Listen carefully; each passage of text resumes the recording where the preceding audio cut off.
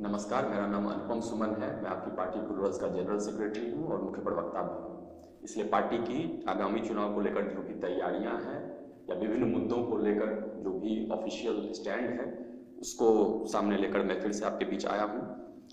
आप सभी जितने भी कार्यकर्ता हैं, चाहे वो जिला प्रभारी हों, ब्लॉक प्रभारी हों, पंचायत प्रभारी हों, सभी से अलग अलग समीक्षा बैठकों में बातचीत होती रहती है। लेकिन चूँकि कार्यकर्ताओं की संख्या इतनी ज़्यादा है इतने कार्यकर्ता औपचारिक या अनौपचारिक रूप से पार्टी के साथ जुड़ चुके हैं कि आवश्यक है कि कई मुद्दों पर उनको भी सूचनाएँ दी जाए इसलिए इस संदेश का निर्माण किया गया है। यह आवश्यक भी है कि आपको जमीनी स्तर तक जानकारी हो कि विभिन्न मुद्दों पर पार्टी का क्या स्टैंड है बहुत सारी बातें मीडिया में या सोशल मीडिया में आती रहती है जिसको लेकर आप बेचैन होते रहते हैं कि पार्टी इस पर क्या सोच रही है या आगामी चुनाव की रणनीति स्पष्ट नहीं हो, हो पा रही है बहुत सारे लोगों को। तो उसके लिए उन सभी के सुविधा के लिए यह संदेश है। तो सबसे पहली बात तैयारी को लेकर है कि प्लूरल्स की क्या तैयारी है आगामी बिहार विधानसभा चुनाव को लेकर। तो जैसा कि पहले भी बताया गया है कि सभी 243 विधानसभा क्षेत्रों में प्लूरल्स अपने उम्मीदवारों को उतार रहा है और सभी सीटों पर चुनाव लड़ने की तैयारी की जा रही है। इसके लिए दो बातें हैं, एक तो कैंपेन है और एक कैडर है। दोनों का समानांतर रूप से कार्य किया जा रहा है और सभी जिला में जिला प्रभारियों की नियुक्ति हो गई है। सभी पाँच सौ चौंतीस ब्लॉक में ब्लॉक प्रभारियों की नियुक्ति का कार्य बिल्कुल अंतिम चरण में है। पंचायत प्रभारियों का, की नियुक्ति का कार्य भी शुरू हो गया है और जो सबसे महत्वपूर्ण है कि सभी बूथ पे कुल बहत्तर हज़ार से ज़्यादा बूथ हैं, जिसकी संख्या इस चुनाव में संभवतः एक लाख को पार कर जाएगी। तो सभी बूथ पर युवा कार्यकर्ताओं की नियुक्ति, जो प्लूरल्स का मुख्य एजेंडा है, मुख्य अभियान है, उसकी नियुक्ति का भी कार्य चल रहा है, जिसको कि बहुत तेज गति से पूरा करने की आवश्यकता है और इसके लिए सभी जिला प्रभारियों की अलग से समीक्षा बैठक आप सभी के साथ की जाती है। इसके पीछे जो सोच है वो यही है कि सभी बूथ क्षेत्र में, चाहे वो गाँव का क्षेत्र हो या शहर का क्षेत्र हो, उस बूथ क्षेत्र में उन वोटरों के बीच में ही सारा अभियान चलाना है, चाहे वो सदस्यता अभियान हो, प्रचार प्रसार का कार्य हो, सोशल मीडिया का कैंपेन हो, या प्रचार गाड़ी घुमाने का कार्य हो, या इवन मैनिफेस्टो बनाने का जो कार्य है, जो सभी जिला प्रभारियों और ब्लॉक प्रभारियों को ज़िम्मेदारी दी गई है कि वो अपने अपने ज़िले और ब्लॉक का मैनिफेस्टो तैयार करें, चाहे वो बड़े मुद्दे हो, कृषि उद्योग विरासत से संबंधित, या छोटे छोटे मुद्दे हो, चाहे वो शिक्षा का, स्कूल का मुद्दा हो, या वहाँ के प्राथमिक स्वास्थ्य केंद्र का मुद्दा हो, या बिजली की समस्या हो, जो भी समस्या है, उसके बारे में उनको मैनिफेस्टो बनाने की ज़िम्मेदारी दी गई है। और जो सबसे मुख्य बात है कि सभी 243 सीटों पर जो चुनाव लड़ना है, उसके लिए उम्मीदवारों की घोषणा भी शुरू कर दी गई है और ये पार्टी का यह लक्ष्य है कि अगले एक महीने के भीतर सभी सीटों पर काबिल उम्मीदवारों की घोषणा कर दी जाए ताकि उनके पास पर्याप्त समय हो कि वो आगामी बिहार विधानसभा चुनाव के मद्देनजर अपने क्षेत्र पर बिल्कुल सघन जनसंपर्क अभियान कर सके, घर घर जाकर चुनाव का प्रचार प्रसार का कार्य कर सके। और इसी से संबंधित दूसरा मुद्दा है कि राजनीति का तात्पर्य सिर्फ़ प्रचार प्रसार नहीं है जो एक उसका मतलब निकाल लिया गया है कि चाहे आप सोशल मीडिया के माध्यम से या मेन स्ट्रीम मीडिया के माध्यम से प्रचार प्रसार करने को ज़्यादा इच्छुक रहते हैं। उसका एक ज़्यादा अहम पहलू यह है कि आपका जनसंपर्क अभियान बहुत सघन होना चाहिए। जैसा पार्टी की मैडम प्रेसिडेंट है, उनका भी सघन अभियान चल रहा है। वो प्रत्येक ज़िले के प्रत्येक ब्लॉक में किसी खास पंचायत या गाँव का भ्रमण कर रही हैं। उन्हीं की तरह आपको भी पैदल यात्राएँ करनी पड़ेगी गाँव गाँव जाना पड़ेगा।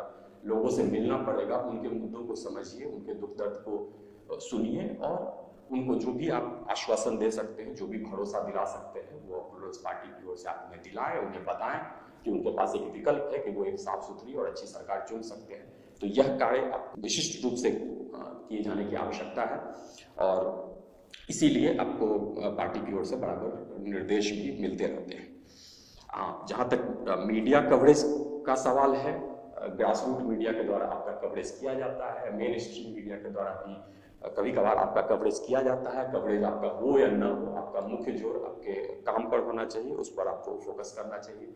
जो भी टास्क दिया गया है उसको आप पूरा कीजिए वह ज़्यादा महत्वपूर्ण है। हाँ, और एक मुख्य बात जो सामने निकल करके आएगी और वो बारंबार आएगी कि बहुत सारी आपके ऊपर टीका टिप्पणियाँ नकारात्मक तत्व तो जो है वो आप, आपको डिटेल करने का प्रयास करेंगे, आपको आपके मार्ग से भटकाने का प्रयास करेंगे, क्योंकि यह आज की राजनीति का एक अहम हिस्सा बन चुका है। बल्कि यह कहा जाए कि राजनीति की रणनीति का एक अहम हिस्सा बन चुका है। अभी सिर्फ़ इसकी शुरुआत है। आपको यह प्रयास करना चाहिए कि जो पार्टी का नारा भी है पॉजिटिव पॉलिटिक्स का तो आप बिल्कुल उसको एक मंत्र की तरह मानकर चलें कि पॉजिटिव पॉलिटिक्स का नारा है तो पॉजिटिव पॉलिटिक्स ही करना है। नकारात्मक द्वंद्व में नहीं फंसना है, क्योंकि अभी, जैसा मैंने कहा, अभी इसकी शुरुआत ही हुई है। अभी बहुत सारी गंदगियाँ होंगी, बहुत गंदगियाँ होंगी, बहुत व्यक्तिगत हमले होंगे, टीका टिप्पणी होगी, आपका चरित्र चित्रण किया जाएगा।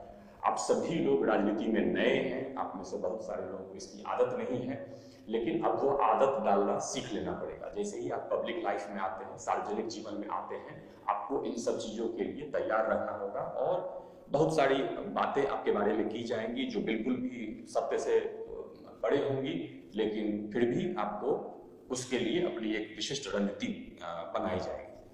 जैसा मैंने कहा, अभी इसकी शुरुआत हुई है। अभी तो बड़े प्लेयर्स जो है वो आपके समक्ष आए भी नहीं हैं। बहुत सारे फर्जी कागज़ आएँगे ऑडियो आएँगे वीडियो आएँगे। बहुत सारी बातें आपके बारे में कही जाएँगी। लेकिन यह सिर्फ़ आज की राजनीति का हिस्सा नहीं है। यह युद्ध का पुराना नियम है। जैसा कि कहावत भी है कि युद्ध में सब कुछ जायज़ है। तो उस उस प्रक्रिया को समझते हुए आपकी रणनीति स्पष्ट होनी चाहिए। और वो रणनीति क्या है कि अपने एजेंडे पर चलना है। रिएक्ट नहीं करना है। राजनीति में जो लोग रिएक्ट करते हैं, वो कभी नहीं जीतते। यह बात बहुत अच्छे से समझ लेना है, इसलिए अगर आपको राजनीति में सफल होना है या चुनाव में सफल होना है तो आपको रिएक्ट करने से बचना है। आपको जो टास्क दिया गया है, आपकी पार्टी का जो एजेंडा है, उस पर आपको मेहनत करने की आवश्यकता है। हाँ समय पड़ने पर जवाब भी दिया जाएगा, लेकिन जवाब सिर्फ़ शेरों को दिया जाएगा। सियाड़ों को जवाब देने की आवश्यकता नहीं। जो गंभीर लोग आए जो बड़े लोग आए जो बड़े प्लेयर्स हैं राजनीति के, वो आपके बारे में अगर कुछ बोलते हैं और आपकी पार्टी की रणनीति है कि उनको जवाब दिया जाना है तो उनको समय पर जवाब भी दिया जाएगा। लेकिन ऐसे ही किसी भी कमेंट पे या किसी भी बात पे या किसी भी घृणास्पद अभियान पे आपको रिएक्ट करने की आवश्यकता नहीं है, उससे आपकी जो रणनीति है, आपकी जो तैयारी है, उस पर सीधा असर पड़ेगा। और यह उचित भी नहीं है कि आप सबको जवाब देते रहे सबसे आप चरित्र प्रमाण पत्र प्राप्त करते रहे सबसे अपने करियर का स्वच्छता प्रमाण पत्र प्राप्त करते रहे यह बिल्कुल भी उचित नहीं है और बिल्कुल, ही मूर्खतापूर्ण है। हाँ आपके बारे में यह भी प्रचारित प्रसारित किया जाएगा क्योंकि अभी तो राजनीति शुरू हुई है आप लोगों ने भी राजनीति शुरू की है यह भी प्रचारित प्रसारित किया जाएगा कि आप फलाना जाति के विरोधी हैं आप फलाना धर्म के विरोधी हैं तो इन सब जाल में आपको नहीं फंसना है।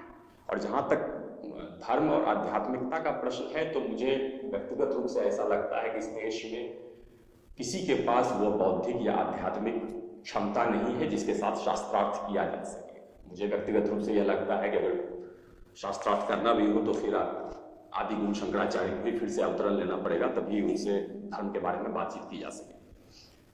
यह एक धर्म युद्ध है। इस बात को मान लीजिए, आपकी पार्टी की जो प्रेसिडेंट हैं, उन्होंने भी बार बार इस बात को कहा है कि जब भी आप सच्चाई के साथ होते हैं, जब भी आप धर्म के साथ होते हैं और जब भी आप बुराई के विरुद्ध लड़ते हैं, जब भी आप कुशासन के विरुद्ध लड़ते हैं तो वह एक धर्म युद्ध के समान होता है। यह भी बिल्कुल वैसा ही युद्ध है। लेकिन जैसा कि देव और असुरों के संग्राम में भी होता था, एक समुद्र मंथन की प्रक्रिया है। समुद्र मंथन होगा, उसमें अमृत भी निकलेगा, उसमें विष भी निकल अब आपकी सफलता इस चीज़ पर निर्भर नहीं करती है कि आपकी टीम में कितने लोग अमृत पीकर अमर होना चाहते हैं। बल्कि आपकी आपकी सफलता इस चीज़ पर ज़्यादा निर्भर करेगी कि आपकी टीम में कितने ऐसे लोग हैं जो कि विश्व को बचाने की क्षमता रखते हैं। आप, आपकी सफलता के लिए ऐसे लोगों का होना ज़रूरी है और आपकी टीम में ऐसे लोग हैं जो कि इस तरह के विश्व को बचाने की क्षमता रखते हैं और उसके बारे में आपको निश्चिंत रहना चाहिए। आपको उसके लिए परेशान होने की आवश्यकता नहीं। और जैसा कि भगवान ने भी कहा है, गीता में भी उन्होंने कहा है, पाठ दो, श्लोक सैतीस में, कि इस युद्ध में बिना किसी चिंता के, बिना किसी परवाह के आपको युद्ध करना चाहिए। अगर इस युद्ध को करते हुए, जो सच्चाई के लिए है, धर्म की स्थापना के लिए है, इस युद्ध को करते हुए अगर आप मारे गए तो आपको स्वर्ग में मोक्ष की प्राप्ति होगी। और अगर आप जीते तो आपको पृथ्वी पर एक अच्छे शासन की स्थापना करने का मौका मिलेगा। तो यह बिल्कुल वैसा ही युद्ध है, यह बिल्कुल वैसा ही चुनाव है, यह बिल्कुल वैसी ही राजनीति है, जिसके आधार पर पुलरल्स पार्टी की स्थापना हुई है। और पुलरल्स के पास वो ज़िम्मेदारी है कि वो बिहार में ऐसे ही एक अच्छे शासन की स्थापना करे और बिहार बदलने का की जो ज़िम्मेदारी पुलरल्स पार्टी ने उठाई है, उसको पूरा करें। इसलिए इस चुनाव में बिहार के पास, हम सभी के पास, आप सभी लोगों के पास यह आखिरी राजनीतिक मौका है। इसी तीन महीने में कि इसको लड़ना है और इसको जीतना है। और इसको जीतने के अलावा और हमारे पास कोई विकल्प नहीं है। और आप यह तय मानिए कि इस पूरे युद्ध में, इस पूरे संग्राम में, इस पूरे अभियान में भगवान आपके साथ है, धर्म आपके साथ है, सत्य आपके साथ है। आप, आपका जीतना इसमें बिल्कुल तय है और आप इसमें बिल्कुल जीतेंगे। इसलिए किसी भी समस्या से, किसी भी आक्रमण से परेशान नहीं होना है। जैसा कि मैंने कहा, अंतिम पचास दिन की तैयारी शुरू हो चुकी है और उसके लिए आप बिल्कुल प्रतिबद्ध रहे और संकल्पित रहें, तभी आपकी इसमें जीत होगी धन्यवाद